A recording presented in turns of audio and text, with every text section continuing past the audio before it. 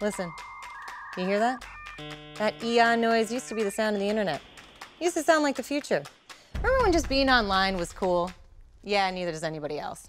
Today it doesn't matter what you do online. Do you curate cat videos? Are you a huge financial institution? A startup ready to launch? Or a hot new mobile app about to sign up 30 million new users on a Tuesday in Malaysia? Doesn't matter. Point is, everyone needs the same things. You need your stuff to load fast, not to get hacked, stay online no matter what, and weather whatever the internet throws at you. You want performance, security, reliability, and insights. Like all the basics of how the internet should work, right? So, pardon me, Cisco and every other company that built itself on the myth that the only way to survive online was to buy racks and racks of boxes that connect to other boxes, we're significantly past the point of EYA, right?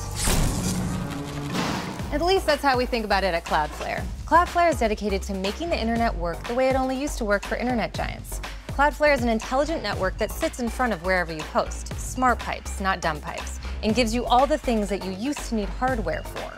Routing, caching, firewall, load balancing, DDoS mitigation, WAN optimization, but as a service, an infinitely scalable, always online, pay for what you need, get set up quickly service.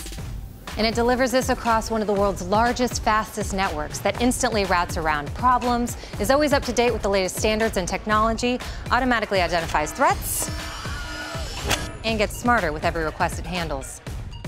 So, excuse me, what's that sound? It's not an EA. That's the sound of the rest of the internet realizing the future doesn't come in a box. Take five minutes, supercharge your internet, sign up for Cloudflare.